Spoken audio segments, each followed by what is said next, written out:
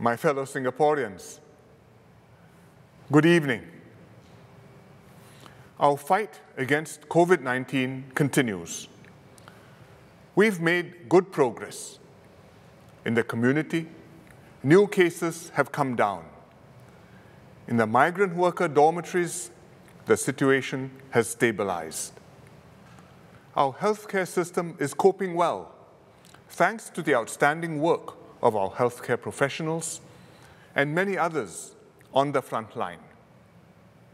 Most importantly, among both Singaporeans and migrant workers, we have kept fatalities low, one of the lowest rates in the world. As a result, we've been able to move out of the circuit breaker. We are opening up our economy and society progressively and safely. As we ease up, I expect the number of cases to rise somewhat, as has happened in other countries. So, we are moving cautiously. We want to avoid the numbers shooting up again and having to impose a second circuit breaker. We will step up testing and contact tracing significantly. Then we can catch new cases early, isolate them and their contacts, and stamp out clusters before they grow. If all goes well and the outbreak remains firmly under control, we will ease up further and resume more activities as soon as possible. In the meantime, please continue to play your part. Maintain personal hygiene and wash your hands frequently.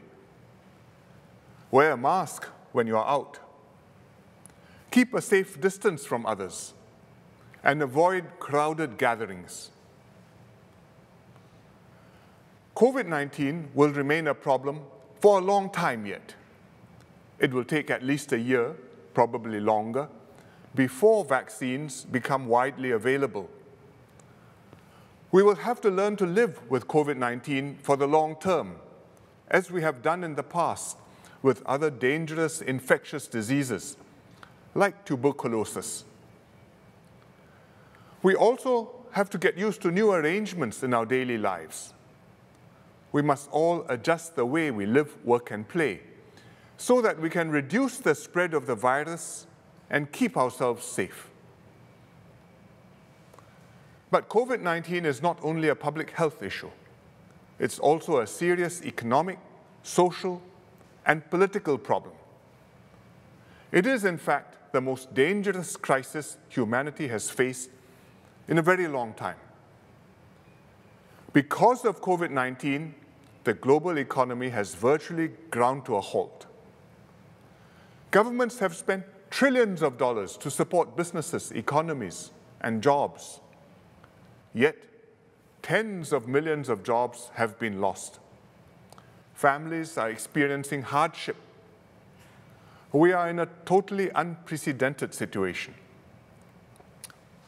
Singapore has taken a severe hit too. Our GDP is likely to shrink between 4 and 7% this year, our worst contraction ever. To protect workers, households, and companies, the government has intervened decisively through four successive budgets.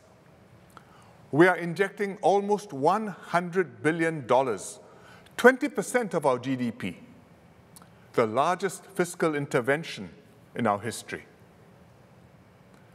Unlike other countries, we can draw on our reserves and don't have to pay for our support measures by borrowing.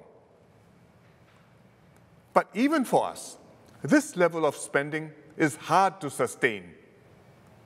More importantly, these measures cannot shield us from the tectonic shifts taking place in the global economy.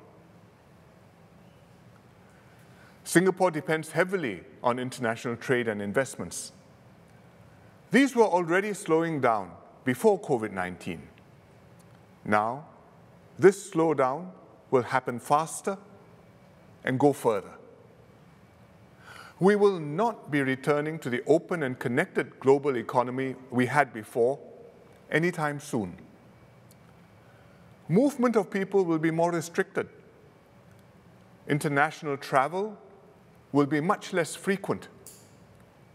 Health checks and quarantines will become the norm.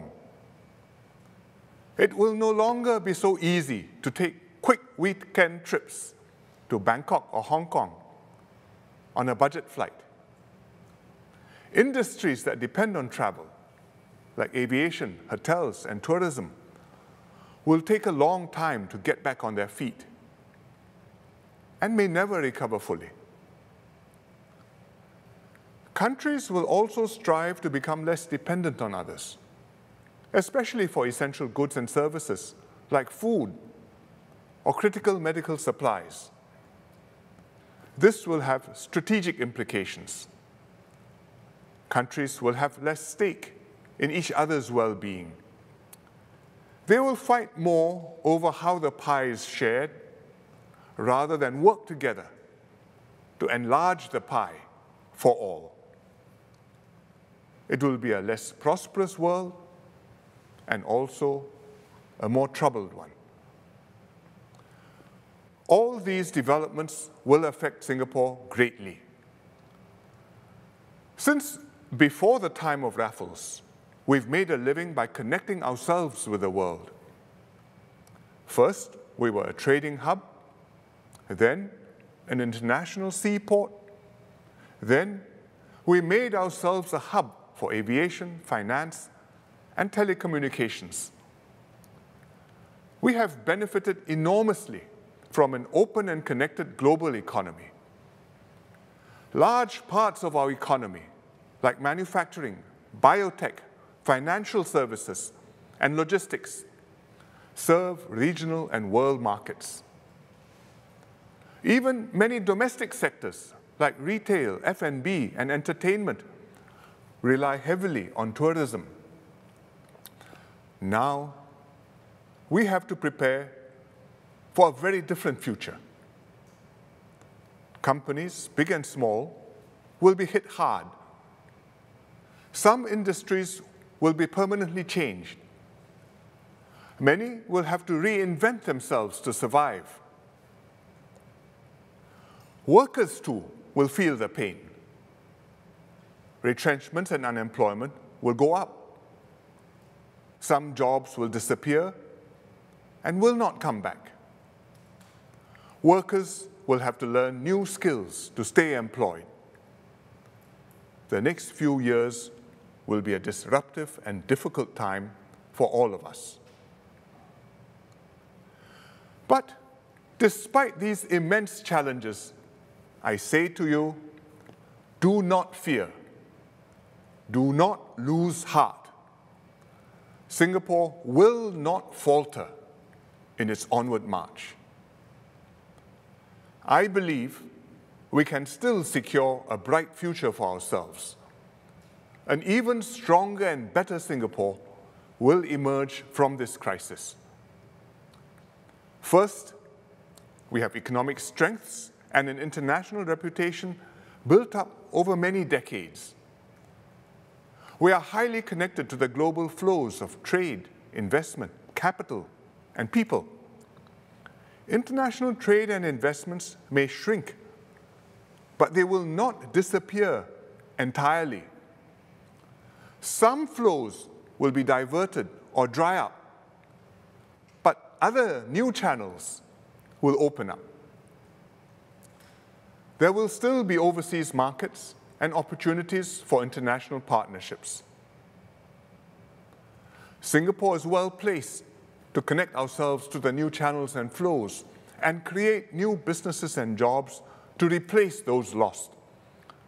We just have to work harder and smarter at it.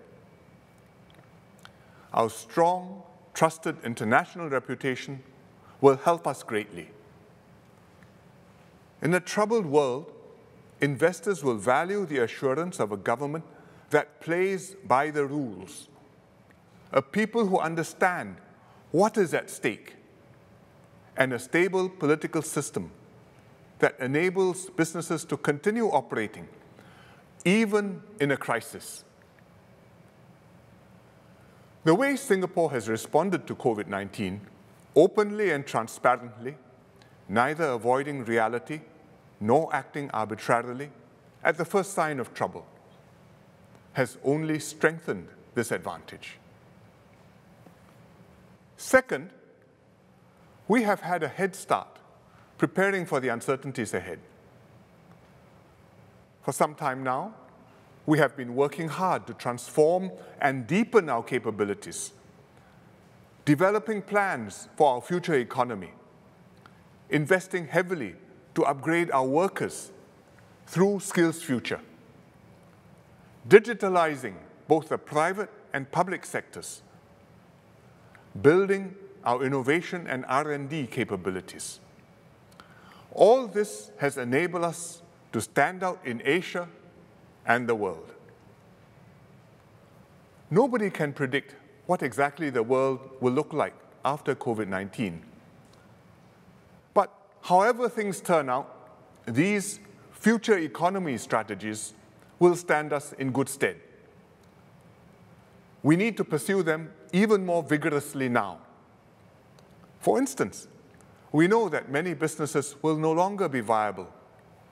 We will support these businesses to transform themselves, change their business models, or move into different and more promising fields. More immediately, we are systematically rebooting our economy as countries emerge from lockdowns. We are rebuilding our transport and trade links. For example, Changi has already resumed transit flights. We are working out reciprocal green lane arrangements for safe travel to China and other countries. We are making our supply chains more resilient. For example, we are diversifying our sources of food. We are even buying eggs from Poland and shrimps from Saudi Arabia. Next, we are working hard to retain and attract talent and investments to contribute to our recovery. At a time when some countries are closing their doors, we are keeping ours open. By making the most of our head start, our workers and industries will survive the crisis better and bounce back faster and stronger. Third, we have programs and plans to cope with the challenges before us. The government's biggest priority now is jobs, helping Singaporeans to keep their jobs or find new ones. We are particularly concerned about those in their 40s and 50s who are often supporting children and elderly parents at the same time and have financial commitments to meet. We are also concerned about mature workers nearing retirement who want to work for a few more years to build up their nest egg for old age. Lower income workers who have not much savings to fall back on. The self employed and freelancers who have less jobs and income security in the gig economy. And fresh graduates who are entering the job market in a very difficult year. We have schemes to help all these groups. The Job Support Scheme, the Workfare Special Payment, the Self-Employed Person Income Relief Scheme, SIRS, the COVID-19 Support Grant, and the SG United Jobs and Skills Package.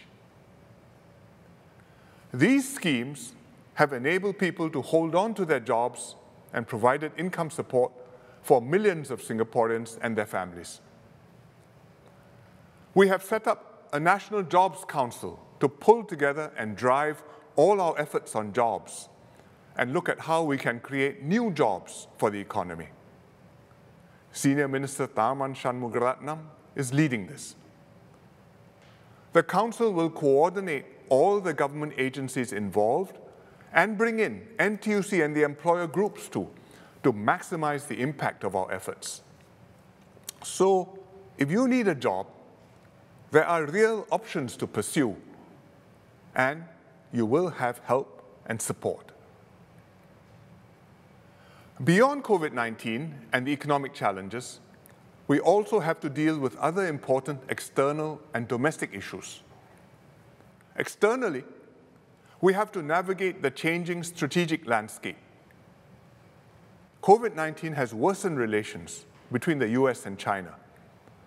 Actions and counteractions are raising tensions day by day.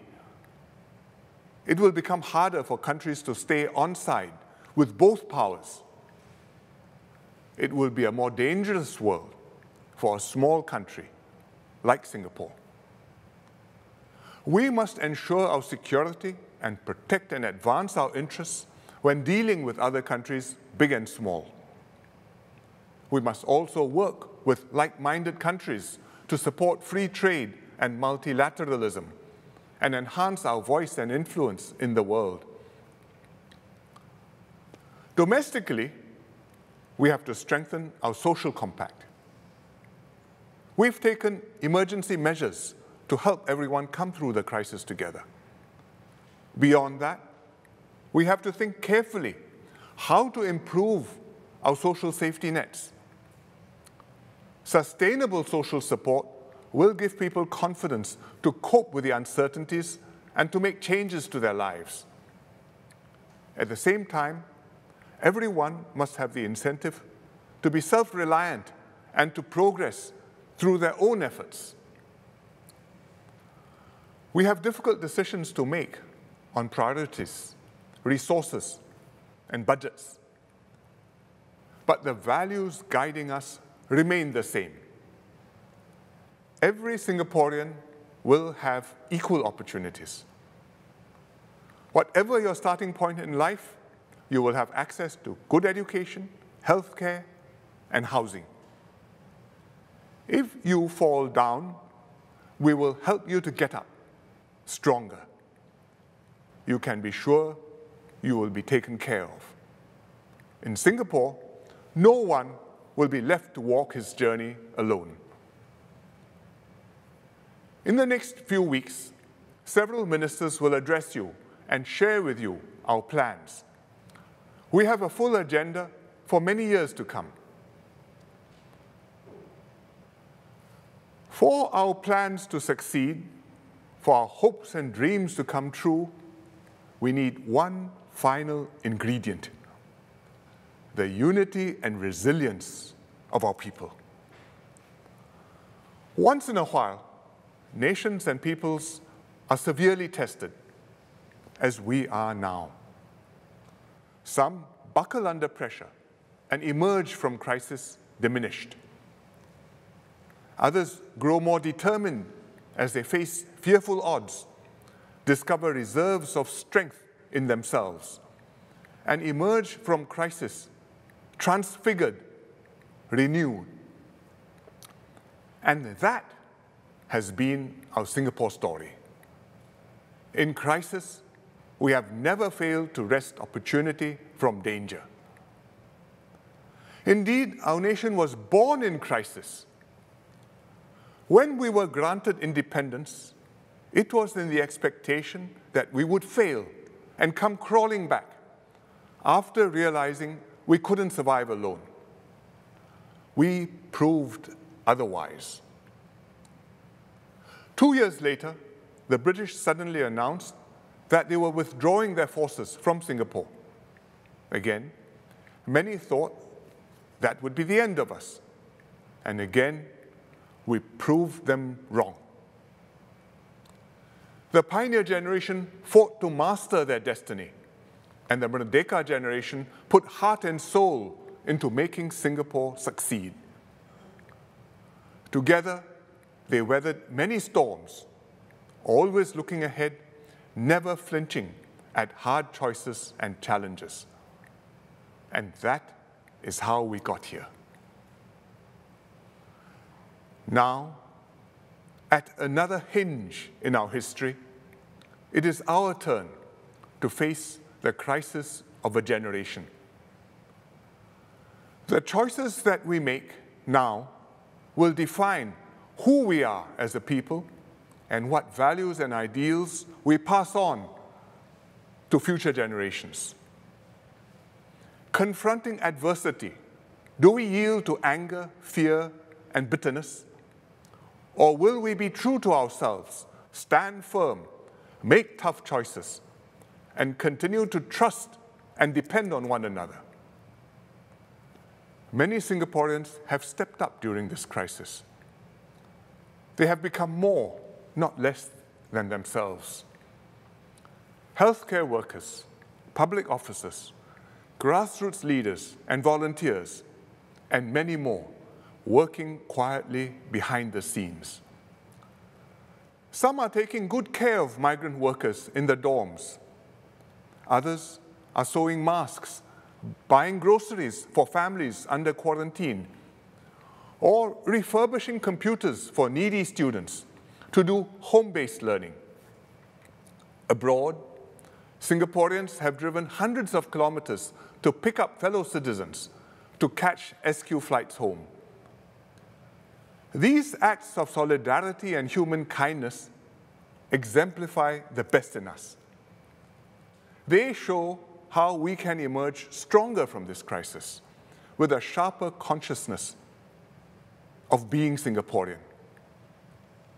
This is why I believe we can continue to be exceptional, a fair and just society where everyone can chase their dreams. My cabinet team with the support of the whole public service, will do our best to lead us towards this enduring vision of what Singapore can be. We need every one of you to work with us. Together, let us take Singapore safely through this crisis and make the Singapore spirit flourish in the world. Thank you.